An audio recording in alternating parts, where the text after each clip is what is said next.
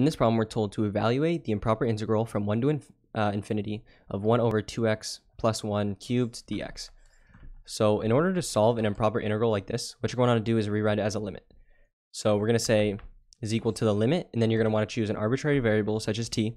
So as t approaches, and then what you're going to do is if you have a definite number like this, like 1, and then infinity or negative infinity, you're going to see uh, say as t approaches uh, infinity, or if you had a negative infinity, negative infinity, we have a positive infinity. So the limit as t approaches infinity, and then just rewrite your integral. Uh, instead of infinity, you're just going to put a t. So we can say from 1 to t instead of infinity of 1 over uh, 2x plus 1 cubed dx. So now we've got it like this. What we want to do next is just solve this integral. So we're going to focus on the limit later, but just solve this integral first. So it's going to be the integral from 1 to t of 1 over 2x plus 1 cubed dx. So solving this integral, we can use u substitution. So we're going to say u is equal to 2x plus 1. And then du would just be 2, right? Because 2x would just be 2, and then this is 0. So 2 dx. So that means dx is equal to du over 2. So that's going to be that. So let's rewrite it and replace it with u. So by now you should be pretty good at solving these. So 1 over, uh, this is just going to be u cubed, and then replace dx with du over 2. So du over 2, uh, we're just going to rewrite this as, so I'm going to move the, this is just 1 half, right? So 1 half times du, I'm just going to move it out front. So du, this is 1 half. And then 1 over u cubed is the same thing as u to the minus 3. So this is just going to be 1 half times u to the minus 3 du. So that's going to be that. So now what we want to do is just uh, take the antiderivative of this. So u, and then we just add 1, so minus 2. And we have this 1 half out front, right? And then we're dividing by minus 2. So we just add 1 and then divide by the exponent. So 1 half divided by minus 2 is just minus 1 over 4. So minus 1 over 4, u to the minus 2. And so now we just got to replace u with uh, what we solved it to be, so or what we set it to be. So 2x plus 1.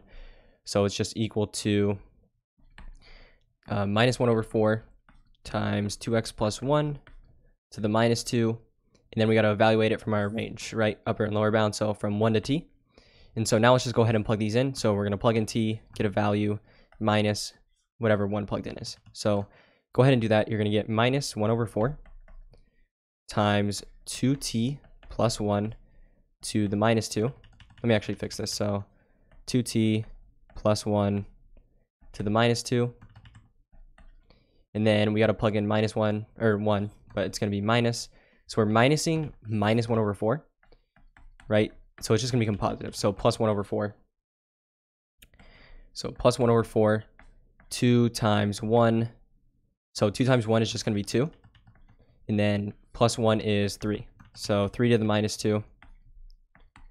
Uh, 3 to the minus 2 is the same thing as 1 over 3 squared.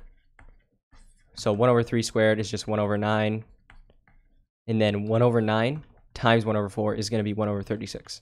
So we're going to have minus 1 over 4 times 2t plus 1 to the minus 2 plus, and then this is going to be 1 over 36.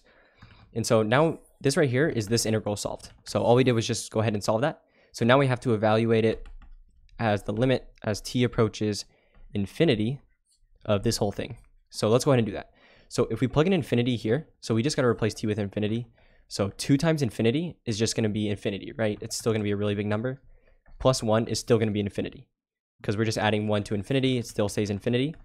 So infinity to the minus 2, uh, that's the same thing as, if you had x to the minus 2, for example, it's the same thing as 1 over x squared. So in this case, it's just 1 over infinity squared. And so 1 over infinity squared, infinity squared is a really big number, right? So essentially this is just going to go to 0 because it's just going to get smaller and smaller, or a smaller and smaller fraction, which just approaches 0. So we can just say that this whole thing right here is 0. And then multiplying it by minus 1 over 4 is still going to be 0, right? 0 times anything is 0. So we just have 0, and then it's just going to be plus 1 over 36. So hopefully you know how to solve limits still, but essentially this is just going to be 1 over 36. And so notice how this goes to a definite number. It doesn't go to like infinity or negative infinity. So essentially what that means is it's going to converge, right? So this thing is going to converge onto 1 over, uh, 1 over 36. So because it goes to a definite number, it's going to converge. So this improper integral is going to go to 1 over 36. It's going to converge. And so yeah, that's going to be your answer, and hopefully you found this useful.